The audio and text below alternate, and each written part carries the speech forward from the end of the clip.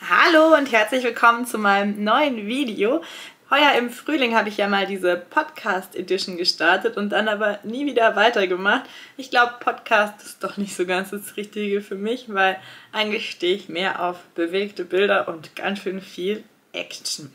Nachdem heuer aber doch echt einiges passiert ist und nicht alles nur schön war, dachte ich, ich kläre euch einfach mal auf, was so passiert ist. Denn diese Podcast Edition habe ich damals dann mit dem Bus eigentlich mehr oder weniger geendet, wo ich gesagt habe, ja, wir fahren jetzt mit dem Nugget, der ist so wie der damals von meinem Papa war, nur in geschrumpft und jetzt haben wir aber schon ein neues Wohnmobil, also einen neuen Camper bestellt. Das war der ähm, Nugget, den kennen die meisten von euch wahrscheinlich. Ich mache das jetzt absichtlich so, weil ich habe mir das bei anderen YouTubern angeschaut und ich finde es eigentlich sehr sympathisch. Das ist ein bisschen wie wenn man zusammen am Lagerfeuer sitzen würde, nur dass ich leider kein Lagerfeuer oder gar Kamin hätte. Ähm, aber gut, ich bin eh so viel unterwegs. Eigentlich ist meine Wohnung schon etwas zu groß für mich. Ähm, das war dann auf jeden Fall der neue Bus. Dazu gibt es ja auch ein eigenes Einführungsvideo. Also wenn ihr über so einen nachdenkt, sucht gerne mal im Kanal. Ich denke auch vielleicht dran, das zu verlinken. Den habe ich ja in H beim Markus Zyno gekauft. Und da muss ich sagen, bin ich nach wie vor sehr zufrieden mit dem ganzen Service der Beratung und dergleichen. Das ist super toll. Allerdings ähm, hat sich der Bus nicht als ganz so tauglich für mich erwiesen. Irgendwie bin ich damit nicht so warm geworden, wie ich mir das vorgestellt hatte. Mit dem Nugget, da war ich ein Herz und eine Seele. Ich wollte nur ein bisschen mehr Platz. Und bei dem Knaus war das dann irgendwie anders. Ich habe mich so ein bisschen, ja, fast wie so Lagerkoller-mäßig gefühlt. Die Sitzgruppe ist anders. Also sicher macht der Gewohnheit, weil es gibt ja genug Leute, die da Vollzeit drin leben. Aber irgendwie war es für mich nicht so ganz das Richtige. Eins der Highlights war jedoch, als wir in ja, da zwischen Italien und Slowenien zu so einem Bach runterfahren konnten. Das geht vermutlich mit meinem jetzigen Wohnmobil leider nicht mehr, aber dafür fühle ich mich da drin einfach wohler.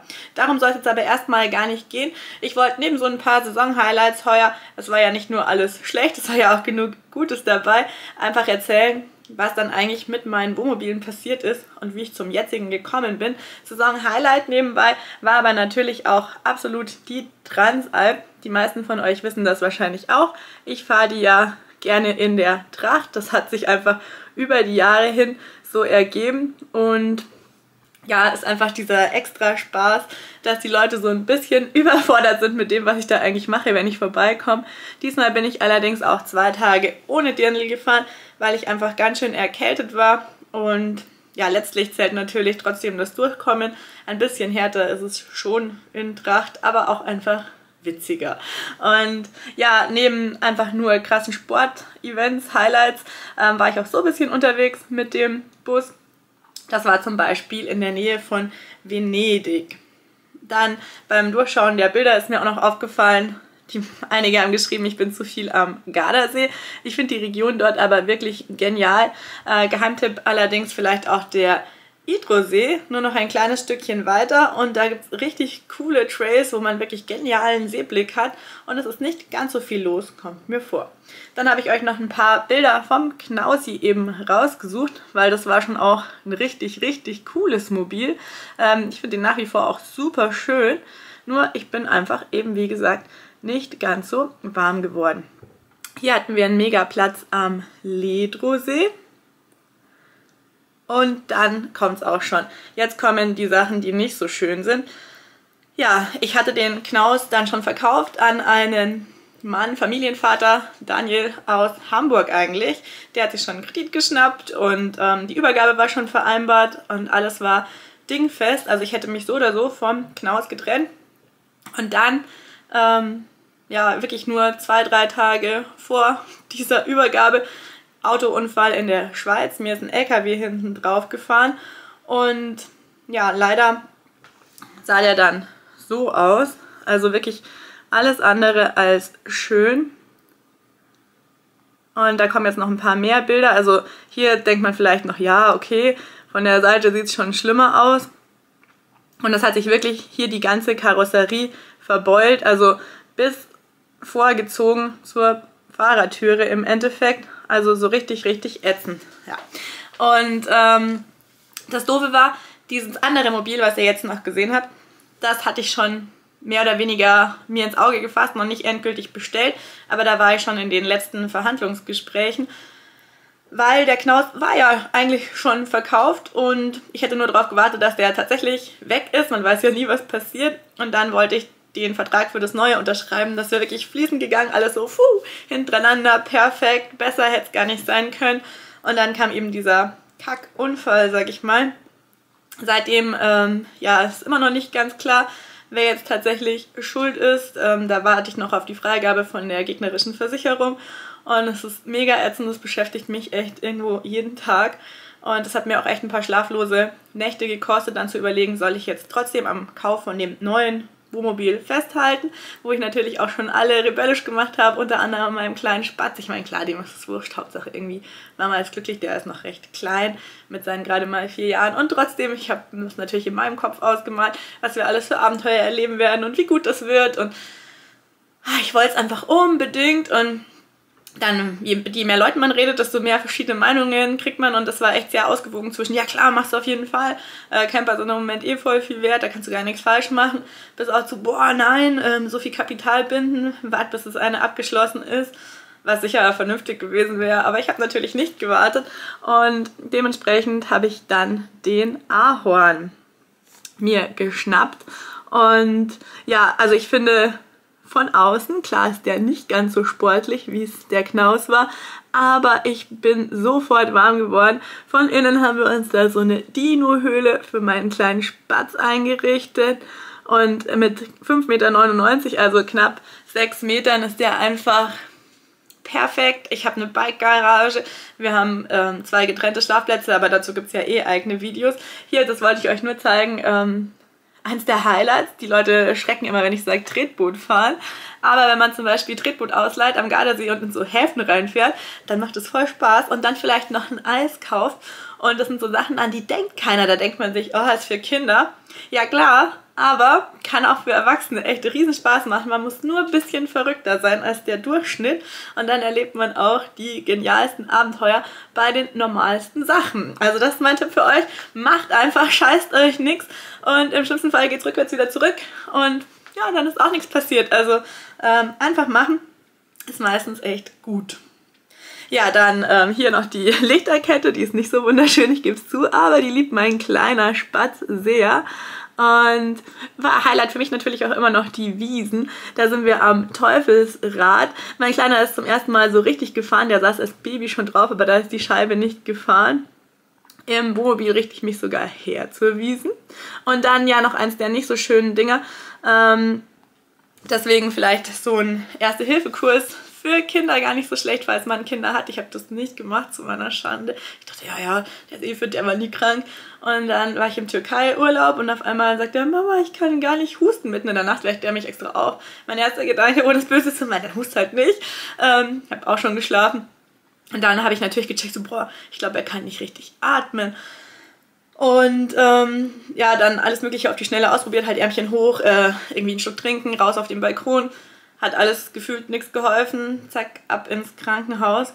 Und das sind dann diese Momente, wo alles andere einfach egal ist. Hauptsache, es wird wieder gut. Und auch hier in der Weihnachtszeit ähm, vielleicht nochmal die Erinnerung, Sachen sind super toll. Ich, ich liebe Sachen. Ich habe mir gerade eine neue Kaffeemaschine gekauft. Aber Gesundheit geht vor allem und wenn da irgendwas nicht mehr so funktioniert, wie man sich vorgestellt hat, dann ist alles andere echt total nebensächlich. Und deswegen ähm, Dankbarkeit. Also vielleicht einfach dankbar sein für das, was man hat, für das, was man haben darf. Für ja auch die kleinen Dinge und das so ein bisschen wertschätzen.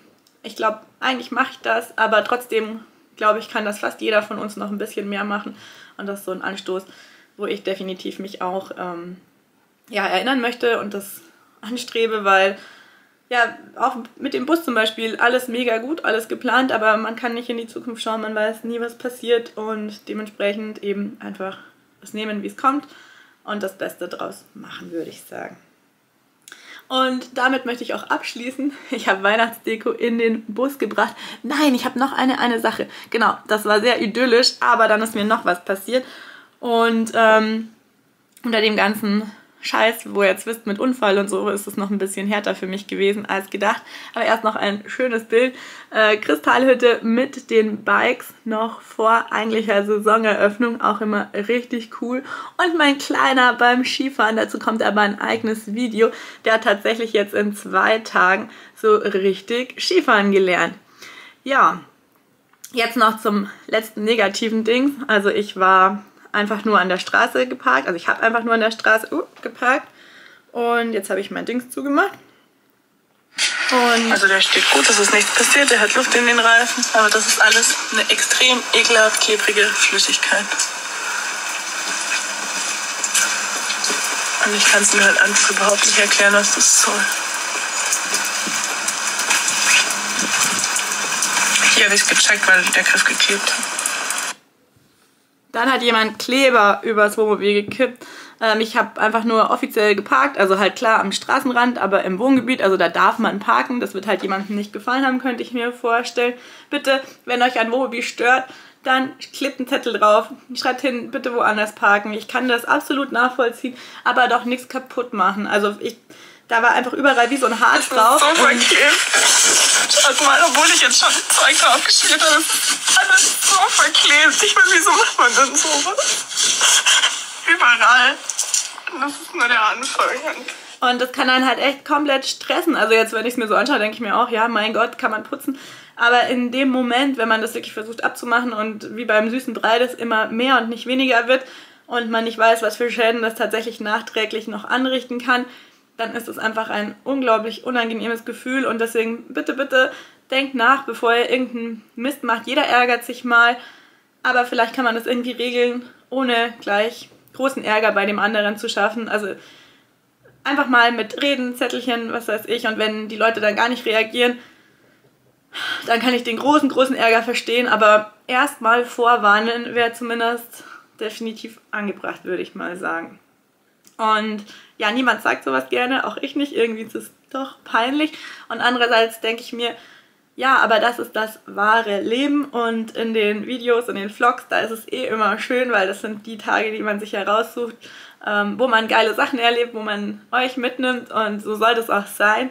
Nur nicht alles läuft immer ganz, ganz rund und auch wenn es so toll aussieht nach außen und es ist ja auch toll, ich meine, ich hatte heuer zwei eigene Busse, aber dann muss es nicht bedeuten, dass alles rund läuft und alles, alles super schön ist sondern das kann auch bedeuten, dass da ganz schön viel Chaos im Hintergrund herrscht. Und ja, man einfach trotzdem schauen muss, wie es weitergeht. Und ähm, das vielleicht noch so ganz abschließend. Also diese Wohnmobile sind von meinem eigenen Geld gekauft. Das hat großartig nicht viel mit dem Blog zu tun. Ich teile es aber einfach gerne, weil man sich da heimisch fühlt, weil das Spaß macht, weil das ähm, ja irgendwo Lebensgefühl ist. Und so wie ich jetzt hier in der Wohnung sitze, ähm, sitze ich sonst halt auch viel im Wohnmobil oder fahre im Wohnmobil und das ist einfach nur super schön. Ja, und was ich auch noch sagen wollte, Entschuldigung, dass jetzt immer noch was kommt, ähm, nachdem ich die Story auf Instagram geteilt hatte, eigentlich vor allem, um ein bisschen aufzurütteln und vielleicht zu sehen, ob das noch jemand anders passiert ist, der vielleicht weiß, was man machen kann, habe ich ganz viele liebe Nachrichten, Tipps bekommen, was ich tun kann, aber sogar auch ähm, eine Thermoskanne und ein Glühwein als Aufmunterung und dann noch ähm, von der Reinigungsfirma Nähe Regensburg das Angebot, dass die mir helfen können. Da werde ich noch drauf zukommen voraussichtlich. Und dann zeige ich euch, ob das funktioniert, wie das funktioniert. Da bin ich selber sehr gespannt, weil es ist zwar jetzt besser. Ich habe mir echt große Mühe gegeben beim Putzen und bin sogar durch so eine LKW-Waschanlage beim Sedelmeier in München ähm, für über 60 Euro durchgefahren. Aber es ist trotzdem nicht ganz sauber geworden. Und dementsprechend mal sehen, was die Wundermittelchen dann noch so vollbringen können. Ich bin jetzt guter Dinge, dass das alles wieder wird. In dem Sinne, lasst euch nicht länger voll labern. Ich hoffe, es hat euch gefallen. Mal ein bisschen was anderes, weniger Action als sonst und trotzdem ein paar ja, ehrliche Worte, würde ich sagen. Ähm, ich wünsche euch eine schöne Adventszeit, eine tolle Weihnachtszeit. Freue mich natürlich, wenn ihr unseren Videos treu bleibt. Und ja, demnächst oder besser gesagt kommenden Donnerstag schon, kommt ein cooles Video, wie mein Kleiner eben in nur zwei Tagen Skifahren lernt, aber auch von Sölden wo es schön ist, was wir so erlebt haben. Einfach so ein bisschen, kommt mit uns mit. Ja, ich weiß, es ist Skifahren. Mehr von euch stehen auf Biken als auf Skifahren. Mein Herzchen schlägt für beides. Also ich liebe Skifahren und ich liebe Biken. Und ja, die Natur einfach draußen sein und natürlich gute Zeiten erleben zu dürfen. In diesem Sinne, lasst euch gut gehen, bleibt gesund und bis zum nächsten Mal. Tschüss!